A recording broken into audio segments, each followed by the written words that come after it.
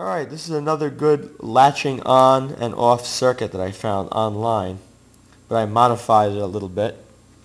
Alright, this one here was the other video I made. And this schematic right here, alright, I don't know if I can see it too well, but this schematic right here, it consists of one hex inverter. I think that's a, I think the one I have here is a 74HC14. You could use also like a 6069 or I think even a 4069 will work. So just try a few different ones. But this is it. I, this was a 0.1 UF. I changed that to 0.01. That goes to ground. The momentary switch is right there. I'm going to actually use an opto isolator for this right here. And I'm going to trigger it from another circuit at that point. This is a 4.7 meg resistor. I'm using a 5.1. Just a couple of simple connections here. That's 100K. That's the same. It was calling for a P channel and I only had an N channel and a BS 170 and it works. Everything works fine. I'm going to demonstrate right now. This will handle a relay up to a half of an amp. So I'll show you with this automotive bulb. I'm going to touch these two wires together and then you're going to see that light come on.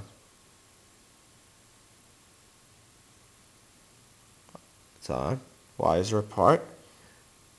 Now I'm going to touch it again. To see the light go off. Let me go to angle there. Off. On. Off.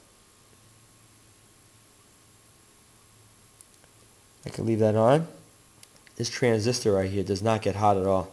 I mean, this, uh, I guess it's a MOSFET, P-channel MOSFET. Uh, yeah, this is an N-channel. So I got that going. But this is real. This is a real handy circuit right here.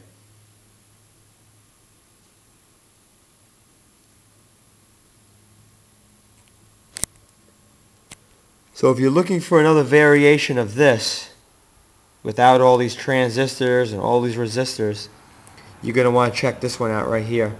You just got one integrated circuit, N-channel MOSFET, and two resistors and a capacitor. I didn't even use an electrolytic. I just used a regular capacitor.